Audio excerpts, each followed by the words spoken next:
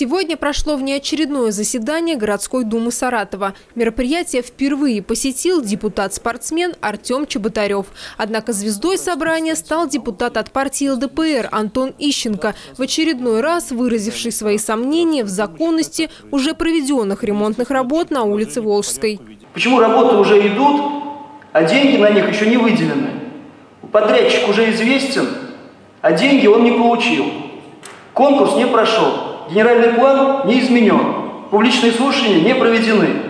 Какие-то общественные организации собрали четыре подписи и считают, что они могут заменить собой требования бюджетного кодекса и градостроительного кодекса. Поэтому, как мне кажется, вопрос чрезвычайно важен. И никакие это не технические вопросы. Если мы так и в, дальнейшем будем находить способы обхода требований федерального закона, то, к сожалению, наша работа будет превращена просто в абсолютно бестолковое занятие. И заниматься этой работой должны уже будут не депутаты городской думы, а прокуратура и суд. Именно поэтому сегодня я считаю, что мы чрезвычайно скрупулезно должны подойти к этому вопросу, чтобы таких ошибок в будущем не происходило.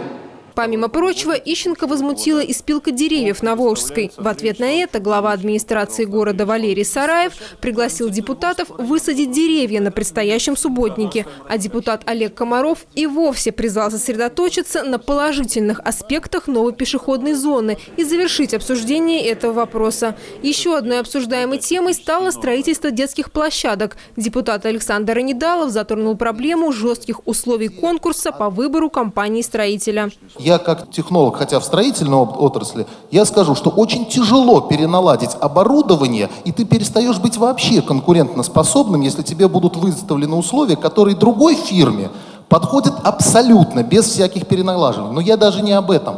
У меня вопрос все-таки, либо партия «Единая Россия» на всех уровнях должна отказаться, может быть, в этом есть логика, от системы конкурсов по отдельным вопросам, по тем вопросам, где мы не сможем обеспечить качество в рамках этого. Либо выполнять это условие и признать, что в данном случае была некоторая спешка, и из-за этой спешки мы сейчас вынуждены искать лазейки. Если вы это признаете, я как депутат вполне, ну давайте вместе разберемся. И действительно, наверное, эти фирмы лучшие. Наверное, действительно это единственное. Но вы признайте, что в данном случае это сделано исключительно для того, чтобы перед выборами это сделать. Возмутила коммуниста и стоимость детской площадки размером в 9 миллионов рублей. По мнению депутатов, в таком случае платежеспособная правящая партия могла бы решить и проблему водоканала. Законодательство очень жестко прописало установку детских площадок и спортивных площадок. И не все фирмы, как вы говорите, готовы взяться то за это. Там нужно наличие лицензии и много других документов. И так получается, что только Санкт-Петербургская фирма, которая берет на себя эти все риски. Для нас, саратовцев, важно, чтобы было 200, 500 детских площадок и в этом году или в следующем было в Саратове. Понимаете? И то, что Санкт-Петербургская фирма там делает, ну берут на себя риски. Это их вопрос. То есть, если там будет какое-то нарушение, их посадят. Но для нас важно, чтобы было 200, 500 детских площадок было в Саратове. И, уважаемые коллеги, обратите на это внимание.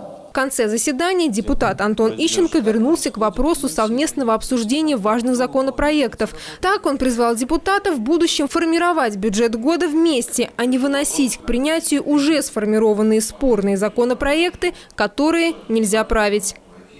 Юлия Нестеренко, Сергей Пшеничников. Открытый канал.